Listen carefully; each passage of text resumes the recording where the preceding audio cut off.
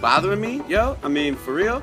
I gotta say, this fucking beard is bothering me, yo. I mean, I mean, I hear, I hear her say all the time how she loves this, you know, rugged look on man, and you know, she wants to live this natural life. I mean, I had this fucking beard for like three weeks, yo. Every single time I turn my head, it's tugging on a t-shirt or something, man. She don't even notice me. Hurts. My name's not even fucking Emilio, yo. It's Lilo. They keep on calling me Emilio. I don't even say nothing because, I mean, you know, they gave me a job and shit, but come on, man, that's fucked up.